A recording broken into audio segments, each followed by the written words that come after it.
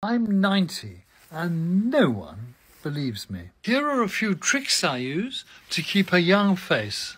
I've been massaging in anti-aging cream with UV protection for the past 50 years. And to avoid wrinkles under the eyes, I've been pinching the skin under them for most of my life. And what's more, I neither drink nor smoke. So, take good care of your face, use sun protection, and avoid stress.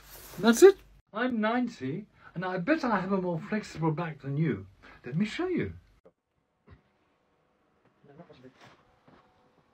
Every morning before getting up, I do this, I do this, and I do this.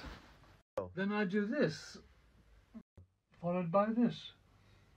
And here are other things I do. So exercise daily, and you should have no back problems in old age. This is what comes to people's minds when they think of a 90 year old walking. What absolute BS. Yeah. Instead of depending on a crutch, I fight old age by doing regular balancing exercises. And the same goes for our brain.